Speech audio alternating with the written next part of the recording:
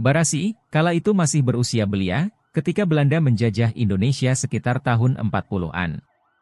Ia hidup bersama kedua orang tuanya di Desa Dadeko, Kecamatan Larompong Selatan, Kabupaten Luwu, Sulawesi Selatan.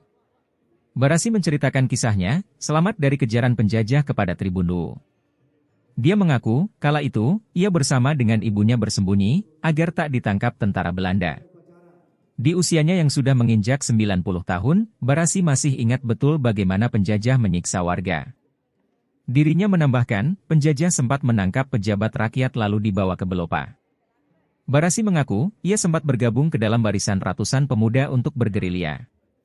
Kata Barasi, dalam melawan penjajah, para pemuda hanya mengandalkan peralatan seadanya. Kini, akibat perjuangan para veteran dan gabungan elemen masyarakat, Indonesia bisa merasakan merdeka.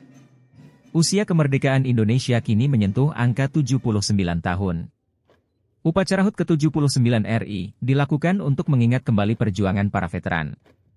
Khusus di Luwu, upacara HUT ke-79 RI dipusatkan di lapangan Andi Jema, Kota Belopa. Sederet pejuang, saksi sejarah perjuangan Indonesia dalam melawan penjajah kala itu turut hadir. Sekretaris Legiun Veteran Republik Indonesia, LVRI, Cabang Luwu, Dirman Arka menerangkan, setidaknya ada 200 pejuang yang akan hadir. Dirinya menambahkan, saat ini ada 10 ranting LVRI yang dilibatkan dalam prosesi upacara kemerdekaan.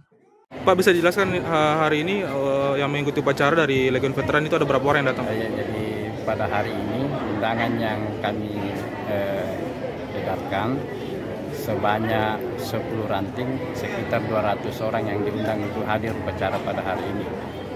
Ini yang yang datang ini yang, yang paling tua ini umur berapa? Pak? Uh, yang paling tua ada yang umur 100 tahun itu ya. sekarang. Iya. Ya. Uh, ada berapa ranting Pak yang diundang untuk uh, 10 ranting. Jadi Kabupaten Lu ini veterannya itu 10 ranting. Itu di ke kecamatan apa saja tuh?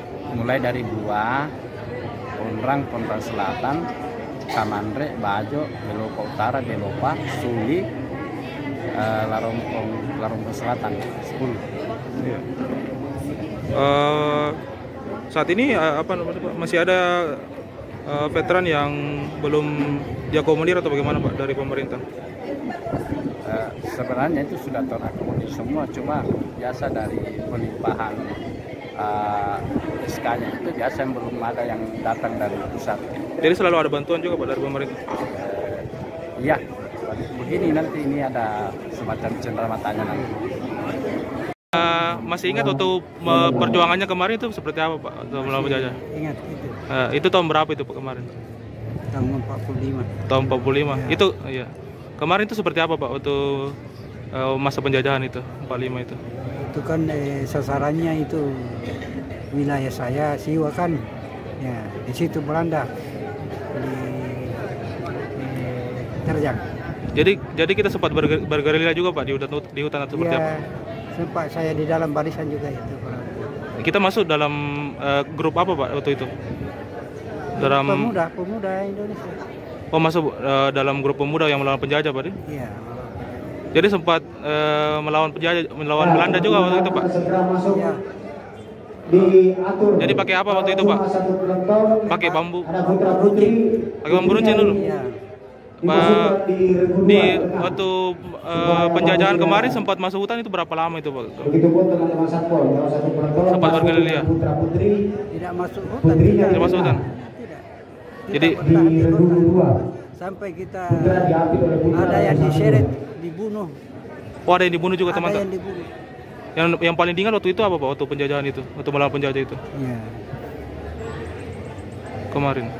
Itu kan di, ditangkap itu pejabat rakyat itu waktu dibawa di di lupa ini di dibantai di situ ada yang meninggal ada yang tidak Berarti kita selamat juga Pak dari pembantaian juga itu. iya selamat saya Total waktu tinggal sama mama Eh, kalau bapak sendiri diseret dibawa di Bilopa dia nyaya oh dia ya. iya Waktu berjuang kemarin itu eh, berapa orang itu Pak? Eh, Pemuda-pemuda.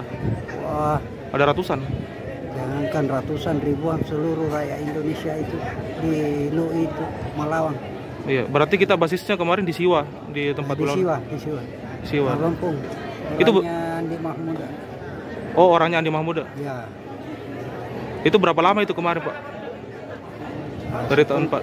Enggak, 10 tahun. 10 tahun itu baru kita uh, lumpuhkan Belanda itu.